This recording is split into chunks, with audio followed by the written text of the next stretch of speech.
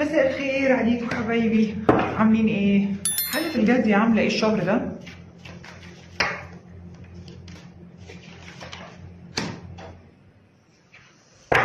الجدي حزين. لا بصوا يعني ال- القوس عنده قفلة. دي حاجة.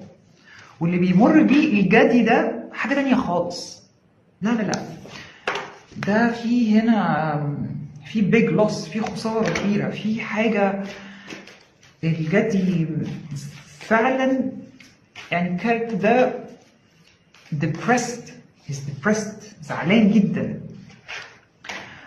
وندمان في حالة ندم. أنا خسرت حاجة كبيرة جدا. يكون معرفش خسر إيه بعيد الشر خسر شخص.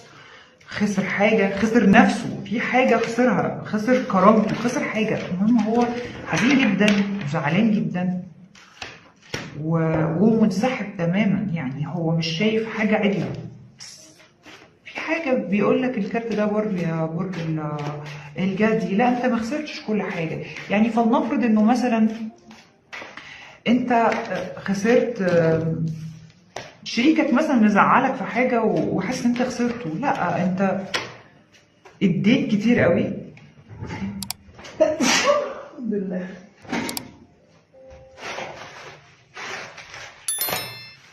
سوري يا جماعة. يعني ما تزعلش إنك أنت اديت انت عملت اللي عليك انت اتعاملت بشكل كويس وبطريقة لائقة وكل حاجة عملت اللي عليك. فما فيش داعي للبكاء على اللبن المسكوب. أنا بتكلم بسمي الكارت ده crying over spilled milk إن أنت بتعيط على اللبن اللي اتدلق. اللي اتدلق اتدلق خلاص في 60 داهيه يرحمنا ويرحمه. فخلاص اللي حصل حصل. ما تزعلش نفسك ابتدي دور على النور اللي جواك. الدنيا عندك مظلمة خالص. في نور لسه جواك. دور عليه وكبره. كبره. ايا كانت الخسارة. ايا كانت الخسارة اللي حصلت لك. لا مش آخر الدنيا مفيش حاجة اسمها آخر الدنيا تمام؟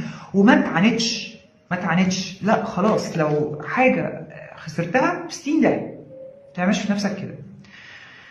الجدي نفسه في إيه؟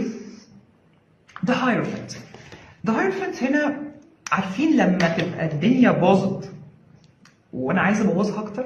لا بص بقى أنا إيه هبوظ الدنيا خالص. ده معناه إن الإنسان بيمر بتجربة مخيفة جدا وصعبة جدا وقاسية جدا. يعني بيهد المعبد على دماغه. مش مش ده حصل مش ده باظ طب أنا هبوظ الدنيا خالص بقى. ليه يا حبايبي؟ ليه؟ على الهادي خالص. إيه اللي حصل؟ الموضوع مش مستاهل إنك تهد المعبد على دماغك بالشكل ده. طيب. إيه ال- الحاجات اللي ممكن تساعدك يا برج الجدي؟ طلع اللي جواك لا طلع اللي جواك لو انت محتاج تشهد حد على حد والموضوع فعلا أنا شايفه إن هو ممكن يكون يستدعي. لو دي علاقة عاطفية لا ممكن نبتدي نلجأ بقى للناس الكبار ونحكم الناس الكبار. حصل كذا كذا كذا. مين الغلطان؟ نحكم حد. وشايفة إنه لو في حد مزعلك من صحابك من قرايبك ايا كان هو مين لا بص بقى عصايتك وروح بقى إيه طلع اللي عندك كله. ما تكتمش جوه نفسك. ما تكبتش جوه نفسك وتقعد تعمل في نفسك كده. لا قول اللي عندك. لو هتتخانق اتخانق مش مشكلة. اتخانق وزعق واعمل اللي انت عايزه. بس انت ما يحصلكش كده. تمام؟ خدت بالي فعلا. لو هي آم، خسارة شخص كل يعني مفيش حد عزيز على ربنا كلنا في الآخر رايحين نقول الحمد لله في مكان أحسن ونصبر نفسنا بالكلام ده ندور على النور اللي جوانا لحد ما نعدي الأزمة دي. لو آه هي في حد بعد عنك ما ب 60 ده هعمل له إيه يعني؟ ما تعملش في نفسك كده. لو ليك نصيب فيه أو ليك خير فيه هيجي تاني مش هروح في حتة. ما تعملش في نفسك كده. لو في فرصة راحت منك عملت اللي عليك انت عملت اللي عليك اجتهدت خلاص ما تزعلش. تمام؟ في كلتا الحالات لازم تخرج من الحالة دي في اسرع وقت ممكن. فإحنا بنتكلم أنا ال ال الرسالة اللي جاية لي من الكارت ده إنه حد بيطلع الطاقة اللي جواه يطلع الطاقة السلبية اللي جواك ايا كان شكلها عامل إزاي. لو هتطلعها مثلا يعني في أهلك في قرايبك إنك تتخانق لاسباب من غير سبب كده طلع الغضب اللي جواك. okay؟ طلعه هترتاح طيب إيه ال challenges اللي جواك إيه الحاجة اللي أنت مش عارف تحققها أو العقبات اللي قدامك؟ Your peace. Your peace. Your inner peace. مش عارف توصل لسلام داخلي. السلام. مش عارف توصل لحتة السكينة والسلام. الكارت ده ليه نصايح. هو مش جاي كده وخلاص. بيقول لك افصل شوية عن ال social media أو خلينا نقول لو ناس هم اللي مزعلينك يعني. لا افصل شد الفيشه ولا هسمع بقى أنتوا بتقولوا إيه ولا هضايق نفسي أصلا ولا هبص لكم أساسا. Inner peace خش جوه نفسك. أنا بس أنا بس. ادوات أنت قاعد مع نفسي بس. الكارت ده كمان معناه الصلاه التعبد. دي الحاجة اللغة لغة الجسد بتاعة الكارت إنه أنت هتوصل للسلام الأساليب المساعدة. إنك يعني تبتدي تعمل صلوات وتدعي دعوات كتير جدا تدعي آه التأمل كمان كويس جدا جدا إني أفصل شوية عن العالم الخارجي بتاعنا يا ال أفصل شوية عن الواقع. خلاص لا أعيش شوية في خيالي أنا إنه أنا رحت مكان تاني خالص وفي حتة تانية خالص. نفصل شوية من العالم المادي وشوية نخش في حالة فيها روحانيات أكتر وإن أنت تقابل نفسك فعارفين الحتة دي تقابل نفسك. تمام؟ فدي التشالنج والتحديات اللي عند برج الجدي الشهر ده إنه يوصل لمرحلة السلام. كله في إيدك والحاجات اللي بتساعد زي ما قلنا العبادات الصلاة الدعاء الحاجات دي كلها التأمل كل الحاجات دي بتساعد جدا إن شاء الله توصل لحاجة كويسة. طيب النتيجة بقى بعد كل القرف اللي, اللي أنت معدي بيها برج الحمل الشهر ده إيه اللي أنا شايفاه في الآخر؟ طلع لي كارت The Empress الكارت ده إما أمومة تمام؟ المستنيين أطفال مستنيين حمل أوكي؟ والله أعلم وممكن يكون اللخبطة دي كلها بسبب حاجة زي دي. نشك. آه جواز إنه طبعا إحنا اتعودنا وجرى العرف إن قبل أي جواز لازم تحصل كم من مشاكل المهول ده والصدمات الفظيعة دي بتحصل. آه أو خلينا نقول إنه إذا كان ولا ده فالجدي بيوصل للحتة اللي هو عايزها. لا هتوصل في الآخر إن أنا لا أنا مبسوط. وبيرجع تاني في حالة عطاء وحب للنفس وحب للآخرين والدنيا هتعدي بشكل عادي جدا. النصيحة اللي هنصحها لك خرج اللي جواك الأول الأول خرج اللي جواك طلع الحاجات اللي مزعلاك في أي صورة بقى تعيط تعيطي. ايا كان الشكل بتاعها عامل إزاي كل واحد ليه طريقة إن هو بيخرج الطاقة السلبية اللي جواه أو الغضب اللي جواه تنفسه اعملوا يوجا الحاجات دي كلها اهدوا شوية ونوصل للسلام الداخلي بتاعنا إن شاء الله الدنيا هتبقى كويسة جدا فنفسيا شايفة الجدي الشهر ده لا فعلا تعبان. من أكتر الأبراج اللي قريناها النهارده وفعلا بيعاني جامد جدا الشهر ده بس شايفه النتيجة في الآخر هتكون حلوة ومرضيه للجدي إن شاء الله هيكون مبسوط. الحمد لله. طيب تعالوا نشوف ماديا وصحيا أخبار الجدي إيه. ماديا اولا. لا حلو قوي. الحاله الماديه عند الجدي إن شاء الله مستقرة.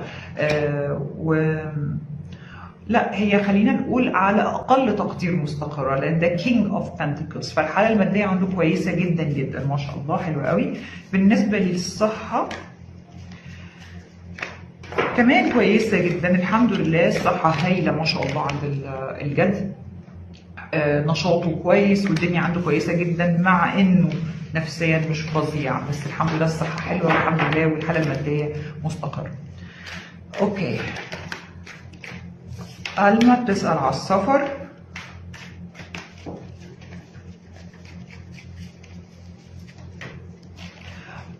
بشكل كبير شايفة إنه إن شاء الله ممكن يحصل. يعني في هنا حاجات قد قطع مسافات سريعة. هنا إن شاء الله ممكن يحصل. وهنا في حالة رضا إنه بيحمد ربنا الحمد لله. وده اللي بتسعوا له إن شاء الله بإذن الله. والله أعلم طبعا يحصل. طيب نبتدي بقى القراية العاطفية. العافية يا أمين. أوكي القراية العاطفية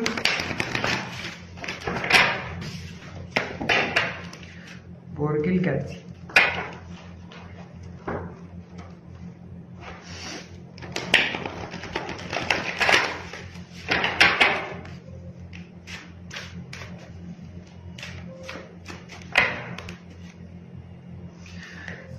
حبيبي الصحة طبعا انت أدرى بحاجة بس آه، ممكن تكون الحالة النفسية آه، لو القراءة العامة منطبقة منطبقة عليكي الحالة النفسية مؤثرة على ال- حالتك الجسدية. يعني أنا من الناس اللي لما بزعل على طول بعاني على طول بعاني من مشاكل يعني مباشرة في في الصحة. فلو دي الكيس عندك الموضوع كله لو حلتي نفسيا هتبقي تمام. فانما لو الكيس غير كده وحبيبتي ربنا إن شاء الله يعافيكي آه، عندك مشاكل اهتمي بالموضوع اهتمي خدي شوفي تابعي يعني. طيب معلش هنشفل الكروت تاني.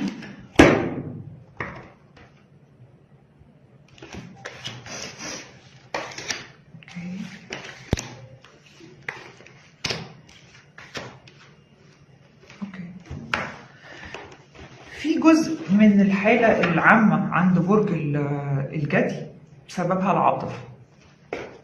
جزء بس مش كلها. يعني مش زي مثلا ما شفت عند القوس إنه آه، الحالة العاطفية جزء كبير جدا يعني حوالي 90% من من حالته العامة مأثرة على حالته العامة. بالنسبة للجدي في نسبة آه بس مش كبيرة زي القوس. القوس حالته عاملة إزاي؟ آه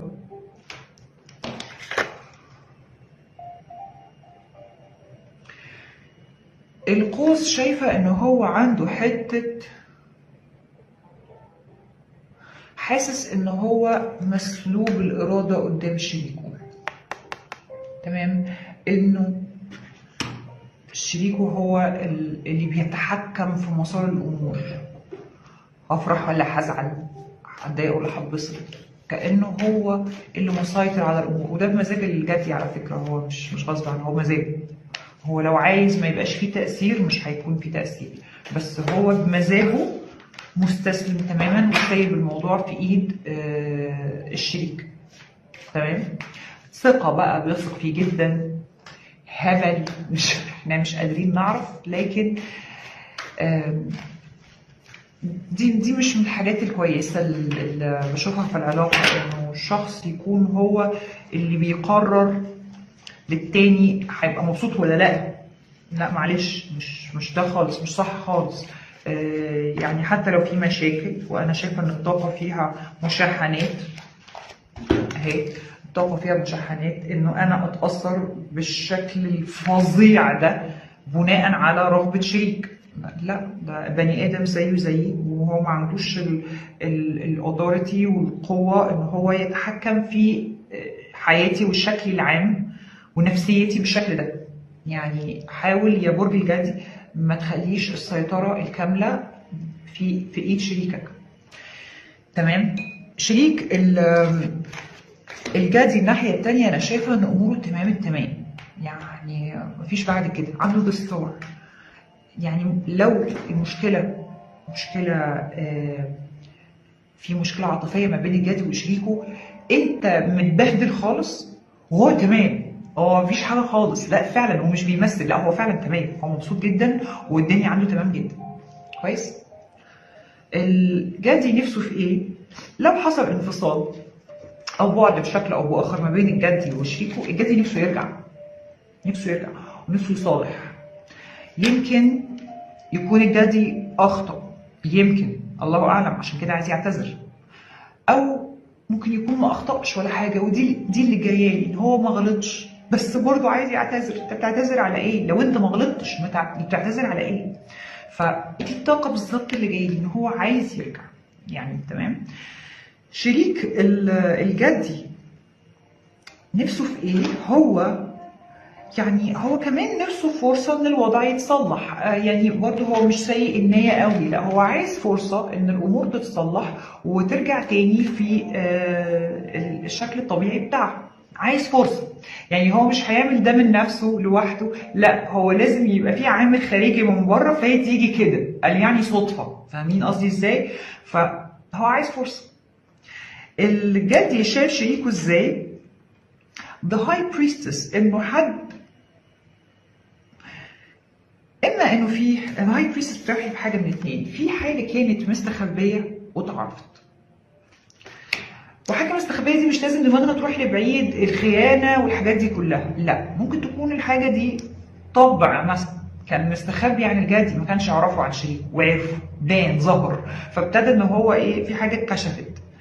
آه فده الأكتر اللي أنا شايفاه إنه في حاجة كانت مستخبية أو محجوبة عن الجدي وعرفها.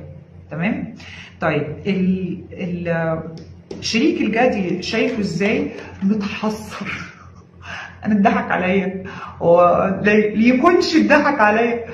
ففي حالة حسره اللي هو لا أنا ما كنتش هعمل حسابي على كده. أو أنا كنت متوقع أحسن من كده. ففي حالة حسره شوية. حلو قوي. كويس. إن أنت شايف يعني الحمد لله. طيب إيه اللي بيحصل الشهر ده؟ الطاقة طبعا زي ما قلنا فيها مشاحنات فيها آه، جدال كتير قوي. جدال جدال جدال.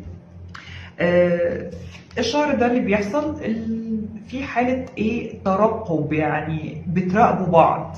فلو أنتوا حصل عندكم بعد فلسه مراقبين بعض. لو أنتوا مع بعض كل واحد هيعمل إيه بقى؟ ها بقى حد... هي هتعمل إيه معايا دلوقتي؟ في حالة ترقب بتراقبوا بعض. كويس؟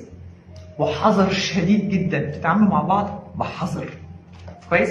حلو جدا.